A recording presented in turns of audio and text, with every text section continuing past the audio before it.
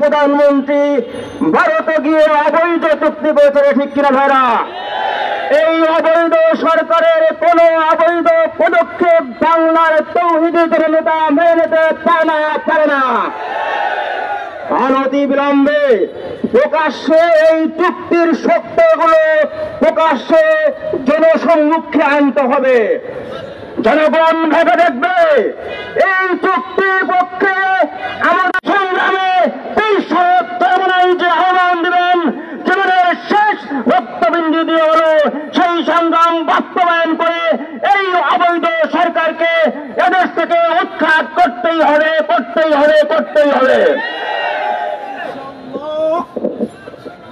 সংগ্রামী ছাত্র বন্ধুগণ,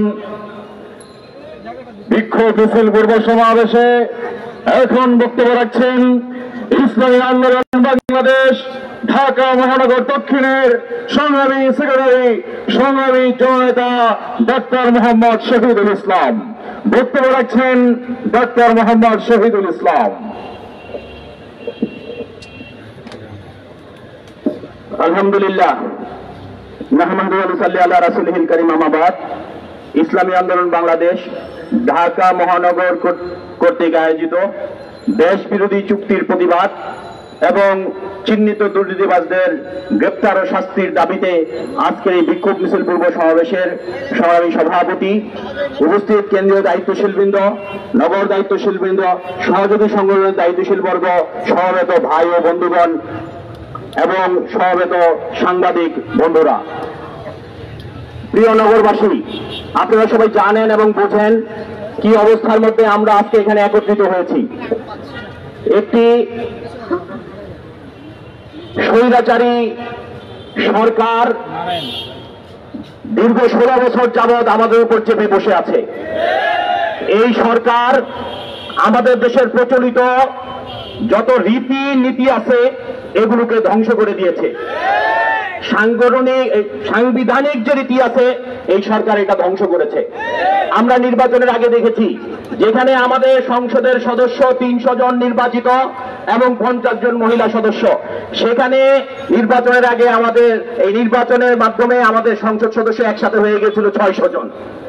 এই যে সংবিধানের ব্যত্যয়, এটা দেশের কোন সংগঠন এই ইসলামী আন্দোলন ছাড়া সামনে আনতে পারে নাই। এই সরকার এই ষোলো বছরে কি করেছে? অনেক কিছু করেছে। আমাদের দেশের রীতিনীতিকে ধ্বংস করেছে। আমরা দেখে দেখেছি, এই যে সম্প্রতি সাবেক প্রধান বিচারপতিকে, তার চাইতে তিন ধাপ নিচে আবার চুক্তিভিত্তিক নিয়োগ দেওয়া হয়েছে।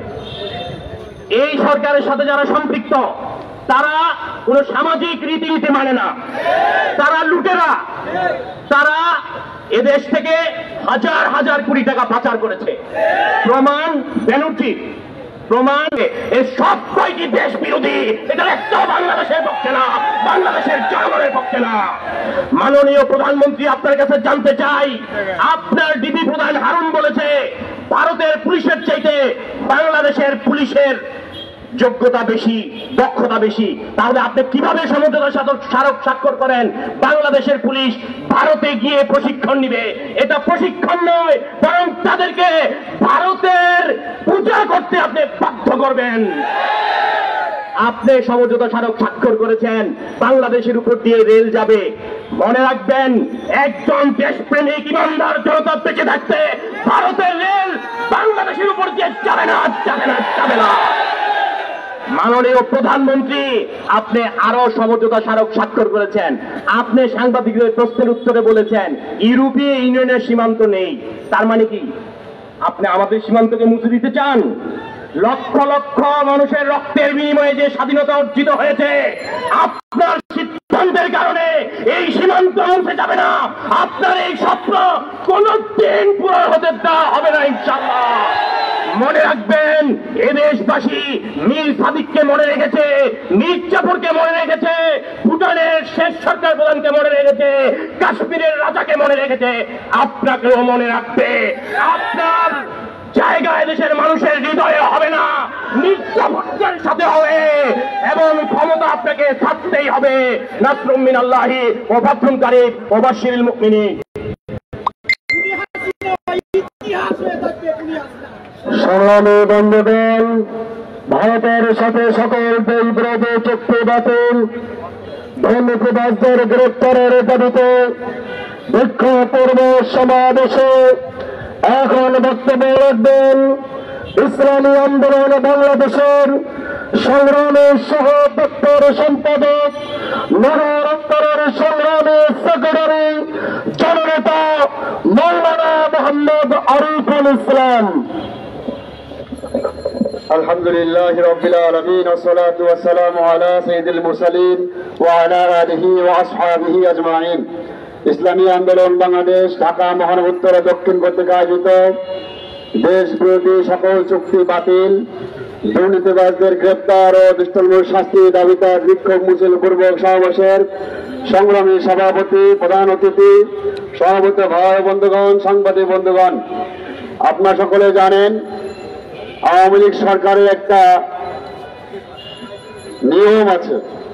নিয়মটা হচ্ছে এই, একটিকে বাস্তবায়ন করার জন্য আর একটিকে উঠিয়ে দেন। একটির পর একটি ইস্যু এনে একটি ইস্যুকে ঢাকা দেন। আমার তো মন বলছে, এই ট্রানজিট চুক্তি যে করবেন, তাদের আগে থেকেই এই বিষয়টি জানা ছিল এবং তাদের ধার্য ছিল। এই ট্রানজিট চুক্তি নিয়ে মানুষ আন্দোলন করতে না পারে, মানুষ লেখালেখি করতে না পারে, মানুষ কথা বলতে না পারে। এই জন্যই তারা আর এক মাস আগে থেকেই বেঞ্জিন নাটক ঘটিয়েছে, আনার হত্যাকাণ্ড নাটক ঘটিয়েছে, মতিউরের ঘটনা ঘটিয়েছে, সেনাবাহিনী প্রধানের ঘটনা ঘটিয়েছে। এইগুলি ঘটিয়ে মানুষের মাথায় এগুলি দিয়ে ব্যাস, এখন তারা শান্তিতে চুক্তি স্বা- স্বা- স্বাক্ষর করে নিয়েছে। এটা আমাদের একটা চরিত্র এবং বাস্তবতা। আমরা স্পষ্ট বলতে চাই, মাননীয় প্রধানমন্ত্রী, এক মাসে দুইবার গেলেন ভারতে। ভারতের বর্তমান প্রধানমন্ত্রী সহ মন্ত্রী পরিষদের সফলতির গেলেন, আবার গেলেন সমাজ স্বাক্ষরের জন্য। স্বাক্ষরের ভিতরে যে বিষয়গুলো রয়েছে ভিতরে অন্যতম কয়েকটি বিষয় রয়েছে। ভিতরে একটি চিকিৎসা রয়েছে। উনি সাংবাদিক সম্মেলনে বলেছেন আমরা চিকিৎসার উন্নতির জন্য বাংলাদেশের মানুষ ভালো মতন চিকিৎসা পাক, এই জন্য ভারতে যাওয়ার ব্যবস্থা করেছি। আহ, আমার দেশপ্রেমিক, আমার দেশের মানুষ, আমার দেশের মেডিকেলে আমার ডাক্তার কাছে চিকিৎসা নেবে না চিকিৎসাটা ভারতে যাবে, এর থেকে কপাল পোড়াতে হতে পারে না। এমন বোকামি চুক্তি আপনি করেন, আপনি করতে পারেন না, বাংলাদেশের ডাক্তাররা বিদেশে যাবে না বিদেশের ডাক্তাররা বাংলাদেশে আসবে বাংলাদেশের জনগণ বিদেশে যাবে না। বাংলাদেশের যে বিদেশের জনগণ বাংলাদেশ চিকিৎসা নেবে, এমন চিকিৎসা ক্ষেত্র তৈরি করতে ব্যর্থ হয়েছেন দেখেই আজকে আপনি ভারতের সঙ্গে চুক্তি করেছেন। এমন বোকামি রাষ্ট্রপ্রধান আমরা কোনোদিন দেখি নাই। দ্বিতীয় চুক্তি করেছেন তানজিদের নামে বাংলাদেশের বুক চিরে আপনার ভারতের এক রাজ্যে ট্রেন যাবে, ট্রেন চালাবে ভারতের লোক পরিচালনা করবে, ভারতের লোক ট্রেন থাকবে, ভারতের মালামাল থাকবে, ভারতের। আমরা কীভাবে বুঝব এর ভেতরে মাদক দ্রব্য নাই? আমরা কীভাবে বুঝব যে বিস্ফোরক দ্রব্য নাই? আমরা কীভাবে বলব কানান বিমানে গোলা নাই সের ভেতরে? আমরা তো চিন্তা করছি ভবিষ্যতে এমন একটা দিনের জন্য ভারত অপেক্ষায় আছে। যেই দিন বাংলাদেশ দখল করার প্রয়োজন হবে। কেনের নামে সৈন্য আসবে কেনের নামে অস্ত্র আসবে, এটা বাংলাদেশের জনগণ দিবে না দিবে না দিবে না ইনশাল্লাহ মতুরের নাটক ঘটিয়েছেন, হাজারো মতুর তৈরি করেছে আমাদের সরকার। হাজারো বেরোজি তৈরি করেছে আমাদের সরকার। হাজারো সেনাবাহিনীর প্রধান তৈরি আজিজ তৈরি করেছে। আজকের পত্রিকা দেখে আসলাম, সেই কমিশনের বা প্রেস কমিশনারের যে সচিব আছেন, তার বিরুদ্ধে সাংবাদিক বন্ধুগণ সুন্দরকে উঠিয়ে ধরেছেন। তিনিও সচেত কোটি মালিক হয়েছে। সাংবাদিক বন্ধুগণ উঠানোর পরে এখন সাংবাদিকদেরকে পুলিশের পক্ষ থেকে হুমকি দেওয়া হয়েছে। এই সমস্ত কর্মকাণ্ড প্রকাশ করা যাবে না। আমরা স্পষ্ট বলি, সাংবাদিক বন্ধুগণ, আপনাদের পরে যত শক্তি আছে, শক্তি দিয়ে সকল দলিতের নাম প্রকাশ করুন। বাংলাদেশের জনগণ আপনার পক্ষে আছে। ইসলামী আন্দোলন বাংলাদেশের আমি আছে, আমরা আছি, দেশপ্রেমিক আছে, ভাবে না, ইনশাআল্লাহ। অতএব সকল দুর্নীতিবাজদের বিচারে আওতায় আনতে হবে। ইসলামী আন্দোলন বাংলাদেশের আমির আজকে ডাক দিয়েছে, আগামী দিনে প্রোগ্রাম দিয়েছে। আমরা আশা করছি ভারতের সঙ্গে যে চুক্তি হয়েছে দেশ বিরোধী রাষ্ট্র বিরোধী মানবতা বিরোধী এই চুক্তির বিরুদ্ধে আন্দোলন বাংলাদেশের মোহতারাম আরও কঠোর কর্মসূচি আমরা মানতে রাজি আছি ইনশাল্লাহ আল্লাহ আমাদের সবাই দান আমিন। সংগ্রামী সমাবেশে এখন বক্তব্য রাখছেন ইসলামী মুক্তিযোদ্ধা পরিষদের কেন্দ্রীয় সভাপতি বীর মুক্তিযোদ্ধা আলহাজ মোহাম্মদ আবুল কাসেম অধ্যকার সম্মানিত সভাপতি, প্রধান অতিথি, সম্মুখে উপবিষ্ট মহানগরের দায়িত্বশীল বৃন্দরা আসসালাম আলাইকুম রহমতুল্লাহ বারাকাত আপনারা জানেন আজকে এখন, এখানে কেন সমবেত হয়েছি? আমাদের সরকার প্রধান ক্ষমতা এসে বলছিল মদিনা এসে মধ্যে ভেদ চালাবে। আইসা সে ইসলামকে ধ্বংস করছে। সে বলতেছে, মুক্তিযুদ্ধের চেতনায় ভেদ চালাইতেছে। বলতো মুক্তিযুদ্ধকে এখন বারোটা বাড়ি আমরা পাকিস্তানের রাজাকার দেখেছি, ভারতের রাজাকার দেখি বর্তমান সরকার ভারতের রাজাকার। তার এই চুক্তি আমরা একটা মুক্তিযুদ্ধ বেঁচে থাকতে বাস্তব হতে দেবো না। যে দেশ চুয়ান্নটি নদীকে বন্ধ করে দিয়েছে, যে দেশে আমাদের বড় ভাইকে হত্যা করা হয়, যে দেশে বুক ছেড়ে তারা ভারত থেকে ভারত হয়ে যাবে। কিন্তু নেপালের কুড়িটু দেবে না। এই সব বন্ধু আমাদের দরকার নাই। বন্ধু, তার স্বার্থ দেখবে, আমি আমার স্বার্থ দেখব। কিন্তু ভারত যেহেতু আমাদের ভোটে নির্বাচিত হয় নাই, সে আমাদের সরকার নয়, সে ভারতের সরকার। কাজে সে ভারতের সাথে চুক্তি করবে সাধারণ এদেশের জনগণের এই চুক্তিকে প্রত্যাখ্যান করে। আমরা মুক্তিযুদ্ধে বেঁচে থাকতে, মুক্তিযুদ্ধ সন্তান বেঁচে থাকতে, এই চুক্তি বাস্তবায়িত হতে হবে না। প্রয়োজন হলে মুখে হঠাৎ তাজা রক্ত দিয়ে হলো চুক্তি প্রতিহত রাজি আছি। আপনারা প্রস্তুত থাকেন আপনারা সংগঠিত হন। দর মত ধর্ম ধর্ম নির্ভর সব একত্র হয়ে আমরা এই সরকার বিরুদ্ধে আন্দোলন করব মুক্তি আমরা মুক্তিযুদ্ধ, মুক্তিযুদ্ধের সন্তান, ইসলামী মুক্তির পরিষদ। সবাই বিশ্বের পাশে আছি। আপনি প্রস্তুতি গ্রহণ করেন। প্রয়োজন হলে এই সরকারের বিরুদ্ধে, এই জানেন সরকারের বিরুদ্ধে, এই চুক্তির বিরুদ্ধে যে কঠিন থেকে কঠিন প্রোগ্রাম দিলে আমরা বাস্তবায়ন করার রাজি আছি। কাজী সরকারকে বলব, মুক্তিযুদ্ধের চেতনার নামে মুক্তিযুদ্ধের চেতনাকে দুঃসব করবেন। এটাকে হইতে আপনি দেওয়া হবে না। আমরা ভোটের জন্য যুদ্ধ করেছিলাম, আমরা ভোট দেশ করেছেন, আমরা স্বাধীনতার জন্য যুদ্ধ করেছিলাম, আমরা স্বাধীনতার দ্বারা খুলে দেবেন। এটা কি আপনার দাঁতের আমরা রক্ত দিয়েছি, আমরা যুদ্ধ করেছি।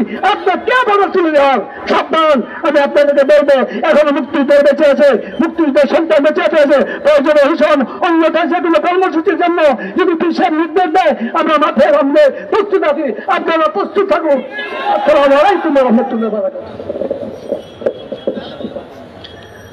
সংগ্রামী বন্ধুগণ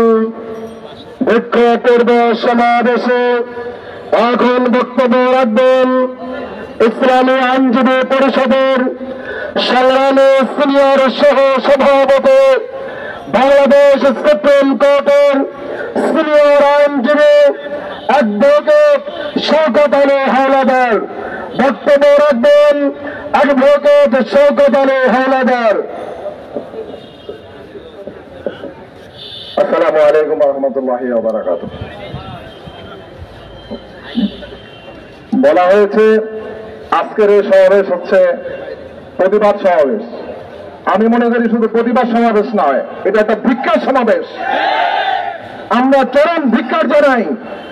এই সরকারের নত জানো এই চুক্তি স্বাক্ষরকে। বন্ধুগণ, আপনারা যদি প্রধানমন্ত্রী সেদিনকের সেই সাংবাদিক সম্মেলনের বক্তব্য শুনেন, তাইলে দেখবেন যে এ কি বক্তব্য দিয়েছে। একটু যদি করেন, খেয়াল তাইলেই দেখবেন। উনি বলেছেন, ওনার বাবা দেশে ফিরে এসেই ভারত সরকারকে বলেছে এদেশ থেকে সেনাবাহিনী নিয়ে যাওয়ার জন্য। সাথে সাথে ভারত সরকার সেনাবাহিনী নিয়ে গেছেন আলহামদুলিল্লাহ, তাইলে ওনার বাবা একটা দেশপ্রেমিক হিসাবে সুন্দর একটা কাজ করেছেন। তাহলে উনি কি করলেন? তার মেয়ে হয়ে। উনি বারবার বলেন বঙ্গবন্ধুর মেয়ে। তুমি বঙ্গবন্ধুর কিসের মেয়ে? কিসের তুমি বঙ্গবন্ধুর মেয়ে। তুমি বঙ্গবন্ধুর মেয়ে হলে তুমি যে চুক্তি করে ভারতে বসে ভারতকে দিয়ে আসো, আমাদের উপর থেকে চলে যাবে ট্রেন এমাথা থেকে ওমাথা এই স্বার্থ কি আমাদের? তার সেদিনকের বক্তব্য আমি দেখেছি খুব ভালোভাবে। বাংলাদেশের কোন স্বার্থের একটা কথাও সেখানে নাই। পুরা কথা হলো ভারতের স্বার্থ। উনি মনে হয় ভারতের পক্ষে উনি দালালি করতেছেন। এর বাইরে কিছু নাই। বন্ধুগণ আমরা অঙ্গরপোতা দহগ্রামে যাব, তিন বিঘা করিডোরের জন্য আমাদের যুগের পর যুগ অপেক্ষা করতে হয়েছে। যুগের পর যুগ। কথা হয়েছে, নেপালের সাথে আমাদেরকে ট্রানজিট করব ভারতের উপর দিয়ে। সামান্য একটু জায়গা। ভুটানের সাথে সামান্য একটু জায়গা। সেইটা ভারত আজ পর্যন্ত দেয় নাই। পর্যন্ত দেয় নাই। আর সেখানে ওনারা আমাদের এক কোণা থেকে ঢুকে আর এক কোণা দিয়ে বেরিয়ে যাবেন। ওনাদের জিনিসপত্র বহন করবেন। এটা কীভাবে আমরা মানব? আমাদের কারও ঘরের উপর দিয়ে, বাড়ির উপর দিয়ে যদি রাস্তা হয়, আমরা কি কেউ মানি? মানি এটা? তাহলে আমার দেশের উপর দিয়ে কেন ভারতের রাস্তা থাকবে? কিসের ট্রানজিট হবে আর কিসের ট্রানজিটমেন্ট হবে? তাহলে এগুলো সম্পূর্ণ হয়েছে আমাদের স্বার্থ বিরোধী আমাদের স্বার্থ বিরোধী যে বিষয়গুলো আছে, তারা কখনই দেশপ্রেমিক হইতে পারে না। বন্ধুগণ, একটু খেয়াল করেন তাইলে বুঝবেন, সরকার ক্ষমতা আসার পরে এই যে বিডিআর হত্যাকাণ্ড হলো, এই বিডিআর হত্যাকাণ্ড থেকে শুরু হয়েছে, এটা শেষ হবে ভারতের হাতে সোপর্দ করে। লেন্দুক দর্জির সেই হায়দ্রাবাদ আর সিকিমের কাহিনী, আমরা কি মনে করি শেখ হাসিনা ভুলে গেছেন? উনি কি জানেন না? সব জানেন। উনি নেকা সেজেছেন। উনি নেকা সেজে কীভাবে হায়দ্রাবাদ নিয়ে গেছে আটচল্লিশ সালে? সাতচল্লিশ সালে দেশ স্বাধীন হলো ইয়ে, ভারতের তৈরি হলো। আটচল্লিশ সালে নানা উসিলা দিয়া ওইটা নিয়ে গেছেন তারা। এটাও একটা স্বাধীন রাষ্ট্র ছিল। ঠিক সিকিমে একই অবস্থায় স্বাধীন রাষ্ট্র ছিল। সেটাও নিছেন। এখন এই সরকার বাংলাদেশ যাতে নিয়ে যেতে পারে, ভারত, সেই ব্যবস্থাই করতেছেন। এখন আমরা কি এটা মেনে নেব? ইনশাআল্লাহ আমরা মাঠে আছি, মাঠে থাকব। এবং আর এর তার এই ন্যাক্কারজনক ঘটনার ধিক্কার জানাই। আসসালামু আলাইকুম রহমতুল্লাহ। সংগ্রামী সাথী বন্ধুগণ, ভারতের সাথে দেশ বিরোধী চুক্তি বাতিল এবং দুর্নীতিবাজদের গ্রেফতার ও শাস্তির দাবিতে ইসলামী আন্দোলন বাংলাদেশ, ঢাকা মহানগর উত্তর দক্ষিণ কর্তৃক আয়োজিত বিক্ষোভ মিছিল পূর্ব সমাবেশে এখন বক্তব্য রাখছেন ইসলামী আন্দোলন বাংলাদেশের কেন্দ্রীয় প্রচার ও দাওয়া বিষয়ক সম্পাদক সংগ্রামী জনতা মৌলানা আহমদ আব্দুল করিম।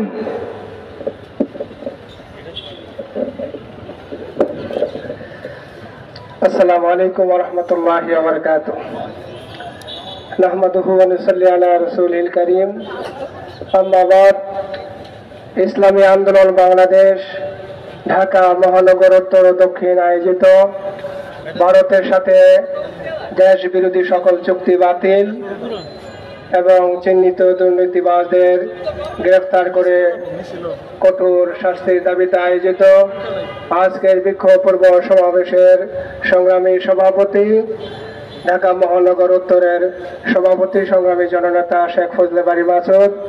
আজকের এই বিক্ষোভ সমাবেশে উপস্থিত আছেন প্রধান অতিথি হিসাবে উপস্থিত আছেন ইসলামী আন্দোলন বাংলাদেশের সিনিয়র প্রেসিডিয়াম সদস্য চরমরাই কামিল মাদ্রাসার সুযোগ্য প্রিন্সিপাল প্রিন্সিপাল মাওলানা সৈয়দ মোসাদ্দেক বিল্লাল মাদানী, ঢাকা মহানগর দক্ষিণের সভাপতি, সংগ্রামী জননেতা মাওলানা ইমতিয়াজ আলম সহ কেন্দ্রীয় নেতৃবৃন্দ, সহযোগী সংগঠন নেতৃবৃন্দ, সমবেত ভাই বন্ধুগণ। সংগ্রামী ভাইয়ের আমার, আমরা আজকে রাজপথে নেমে এসেছি। কেন নেমে এসেছি? ইতিমধ্যে আমাদের বিভিন্ন আলোচকদের আলোচনার মাধ্যমে স্পষ্ট হয়েছে। আমরা স্পষ্ট ভাষা জানিয়ে দিতে চাই দেশের স্বার্থ জলাঞ্জলি দিয়ে দেশের স্বাধীনতা সার্বভৌমত্বকে বিকিয়ে দিয়ে ভারতের সাথে কোন চুক্তি এদেশের ইমানদার জনতা মেনে নিবে না, মেনে নিবে না। আজকে যে দল দফা চুক্তি করা হয়েছে, এই চুক্তির মধ্যে আমাদের দেশের ন্যূনতম কোনো স্বার্থ নেই। সকল স্বার্থ ভারতের স্বার্থ। আজকে দেশের স্বার্থকে বিকিয়ে দিয়ে যারা দেশের স্বার্থ রক্ষা করে, তারা ভারতের রাজাকার নাগরিক হতে পারে না। এই ভারতীয় রাজাকারদের বিরুদ্ধে আবার একটি সংগ্রামে অবতীর্ণ হওয়ার সময় এসেছে। সংগ্রামী ভয়ের আমার, আজকে এই দেশের সম্পদ দুর্নীতি করে এই দেশের আমলারা মন্ত্রী এমপিরা বিদেশে প্রচার করে, বেগম পড়া করেছে। আর এই বেগম আজকে যারা এদেশবাসীর তারা খেয়ে, এদেশের ইমানদার জনতার তারা খেয়ে, যখন দেশে থাকতে পারবে না, তারা বেগম পাড়ায় চলে যাবে। কিন্তু দেশের সাধারণ মানুষের বিদেশে কোনো বাড়িঘর নেই, তারা কোথায় যাবে? এই জন্য দেশপ্রেমিক জনতাকে এই দেশকে রক্ষা করে এই দেশেই বসবাস করতে হবে, ঠিক কিনা বয়ের আমার এই জন্য দেশ জনতাকে ঐক্যবদ্ধ হয়ে এই ভারতীয় রাজাকার আওয়ামী সরকারের বিরুদ্ধে কঠোর আন্দোলন করে তুলতে হবে। এই দেশের জনগণকে রক্ষা করতে হবে। এছাড়া আমাদের সামনে কোনো বিকল্প পথ নেই। এই বলে আমার বক্তব্য শেষ করছি।